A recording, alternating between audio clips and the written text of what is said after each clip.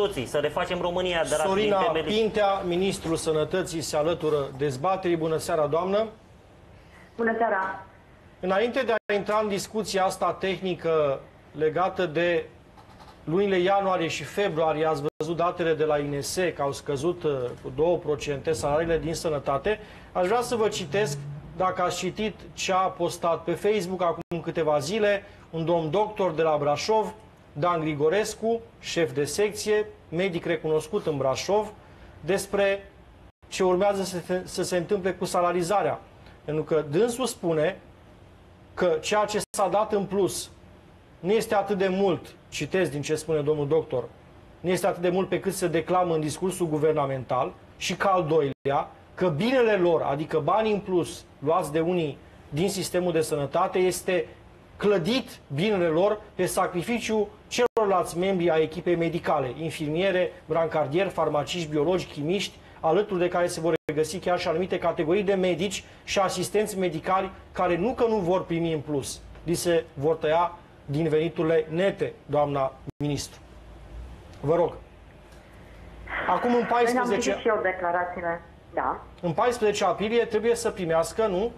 Medicii, sistemul primește salariile pe nou sistem de salarizare, nu-i așa? Așa este. Așa este. Au motive de îngrijorare, am văzut și proteste la, la, la, la, la NASTA. Vă rog.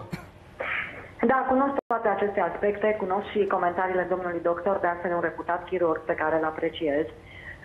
Uh, există majorări salariale, indiferent de, de ce se spune în spațiul public, uh, există o lege care stabilește niște grile pentru personalul medical, medici, asistente medicale.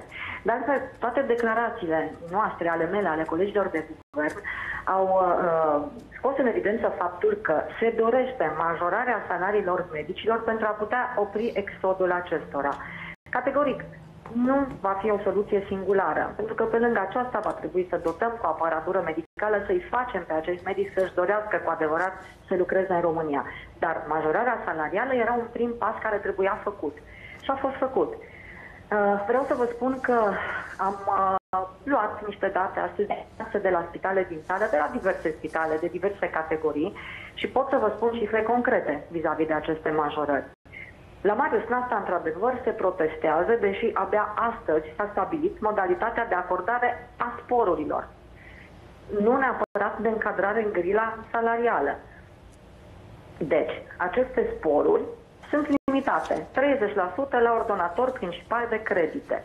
Există ordonator principal de credite, cum ar fi consilii locale, consilii județene, care nu au subordine spitale sau alte instituții care acordă sporuri mari. Prin urmare, pot să acorde sume, procente de sporuri la maxim. Ministerul Sănătății, ca ordonator principal de credite, are în subordine mai multe spitale, mai multe instituții, mai multe instituții care au sporuri mari. Prin urmare, procentul este mai mic. Da, până la urmă, deci problema, doamnă, mă scuzați, problema este la da. Ministerul Sănătății. Nu, e o lege. Problema este la aplicarea legii. Aplicarea legii 153, care limitează sporurile la 30% pe ordonator principal mă scuzați, de credit. Dar nu am dar înțeles. nu este o problemă. Mă scuzați, dar nu am da. înțeles. Vă rog să rămâneți exact 10 secunde ca să vedem declarația Ministrului Muncii, a doamnei okay. Olguța Vasilescu. Vă rog. Răspundeșilor din sistemul sanitar, în special asistenții care au protestat săptămâna trecută la Marius Nasta, faptul că li s-au tăiat acel spor uh, pentru că lucrează în acest condiții periculoase și majorarea, de fapt... Rugămintea este să întrebați Ministerul Sănătății, pentru că regulamentul de sporuri se lucrează de către Ministerul Sănătății. Ministerul Muncii a dat o lege, au fost majorări, cred că nu poate nimeni să conteste majorările din sistemul de sănătate. Da, doamnă. Deci problema este la dumneavoastră, spune doamna Vasilescu. Nu, nu este problema. Nu este problema. Noi și doamna Vasilescu a fost înțeleasă greșit. Deci, Ministerul Muncii a dat o lege o lege prin care majorează salariile personalului medical, pe de altă parte, sporurile care se acordă sunt limitate la 30%. Ministerul Sănătății nu face decât să aplice legea. Regulamentul sporurilor este negociat cu sindicatele. Procente, ca și procente, este promovat prin hotărâre de guvern de Ministerul Sănătății, dar aplicarea lui depinde de legea salarizării. Asta vrea să spună și doamna ministru Vasilescu. Este adevărat, repet, sunt unele spitale care pot acorda spor la maxim, unele care pot acorda spor la minim, în funcție de coordonatorul principal de credite. Dar, repet, este și problema managerilor să repartizeze împreună cu sindicatele, adevărat, aceste procente de sporuri. Pe de altă parte, pot să vă spun despre unități din subordinea Ministerului Sănătății, care nu au aplicat spor la maxim. Și vă dau un exemplu. Medic specialist, terapie intensivă, spital clinic, care nu are sporul la maxim, dar are un venit net fără gări, venit net, 15.423.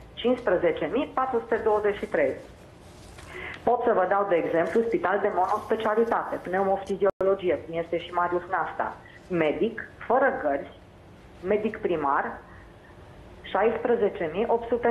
Sunt cifre pe care le-am primit dimineață, am primit fluturașii de salariu. Salariile au fost majorate în grilă pentru medici, asistenți medicali. Celelalte categorii de personal intră în grilă la nivelul maxim până în 2022. Și de aici apar aceste discrepanțe. Și de aici apar, Mai este un doamna, aspect. doamna ministru, de aici apar și nemulțumirile domnului uh, doctor Grigorescu, că nu le-ați comentat.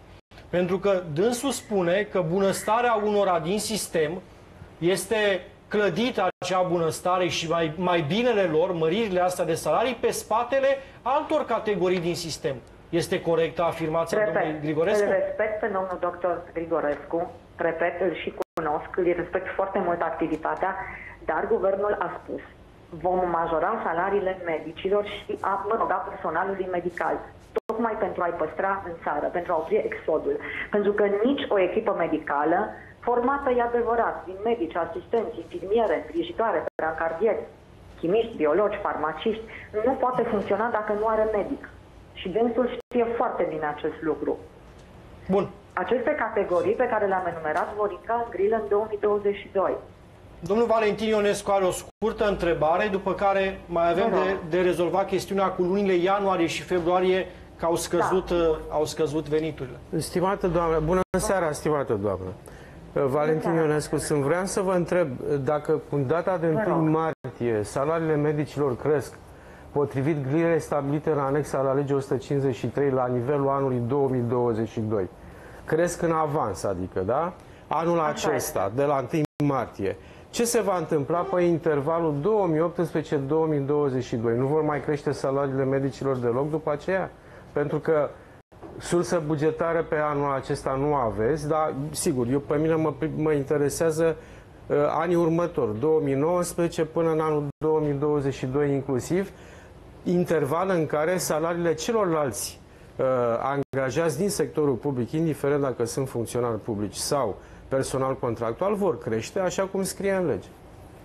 Aveți o Mai există planificare? Ce se va posibilități de întâmpla? creștere. Mai există posibilități de creștere. De exemplu, tariful de carte în acest moment se calculează la luna salariul de încadrare a lunii ianuarie. În momentul în care se va calcula la salariul de încadrare a lunii martie, categoric valoarea acestora va crește mult. Pe de altă parte, acolo unde nu se pot acorda sporurile la maxim, există posibilități de creștere până la limita maximă. Deci, speranța mea este că până în 2022 vor crește și vor crește să vă spun de ce. Pentru că în 2019 vor intra pe grilă alte categorii de personal. Va crește anvelopa salarială, va crește și suma aferentă limitei de 30%. Deci există posibilități de creștere în toate locurile. Stimată doamnă, vreau să fac un comentariu, să nu mă înțelegeți greșit, nu sunt malițios. Resursele bugetare sunt limitate și s-a văzut încă de anul trecut ce presiune există pe buget datorită creșterilor salariale. Vor fi și în anii următori aceste presiuni, odată pentru că nu aveți o planificare și nu mă refer numai la ministerul dumneavoastră, ci toate ministerele și agențiile care există și în, în administrația publică locală, separat de faptul că neînlăturându-se inegalitățile de salarizare în sistem, atunci și acestea trebuie corectate, care înseamnă încă o cheltuială suplimentară față de orice altă majorare. Deci asta este o problemă încă nerezolvată. Din contră, ea a fost amplificată. S-a căutat rezolvarea ei în 2016 și a fost ignorată. Și avea o implicație bugetară anuală de peste 2,6 miliarde de lei. Deci vă rog să vă gândiți la această situație înainte de a discuta de orice majorare, unde, repet, nu există deocamdată o planificare bugetară.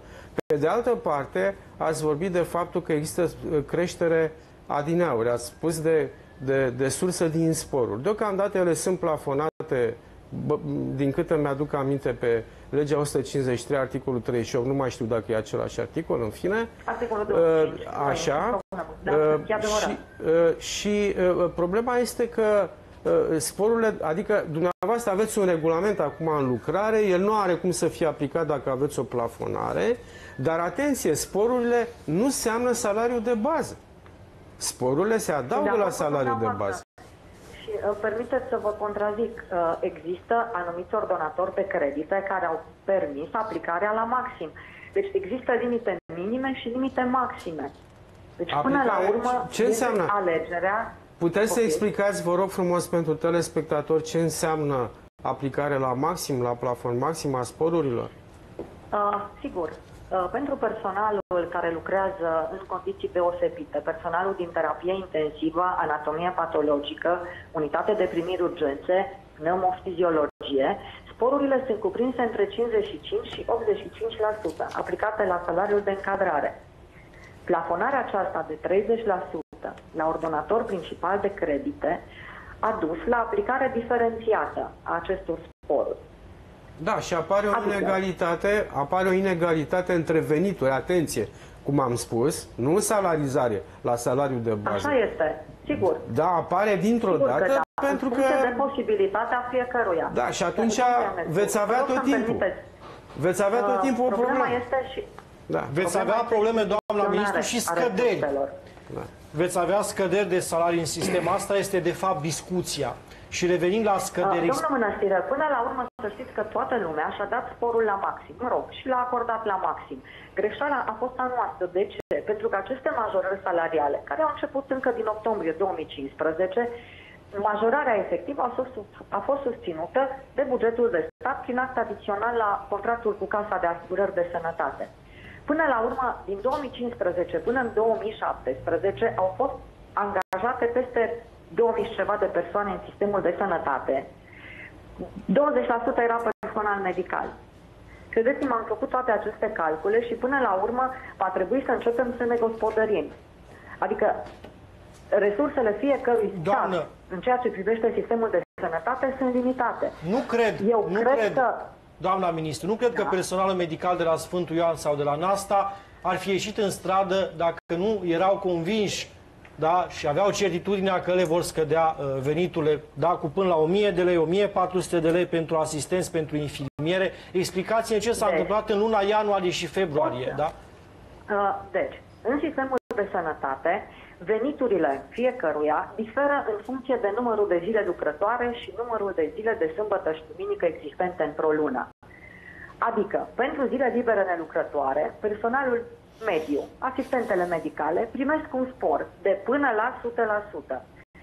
Medicii, pentru gardă, primesc un spor de până la 100% în zilele de sâmbătă și duminică sau sărbători legale și până la 75% în zilele lucrătoare.